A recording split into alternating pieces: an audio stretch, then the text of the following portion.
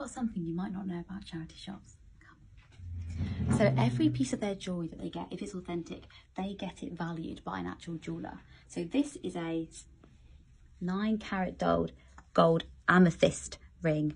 And that's beautiful. Like, I would love that. I've already tried it on. It does not fit my finger, unfortunately. But they know the pricing that's reasonable because they've already spoken to a jeweler and they know that it's authentic.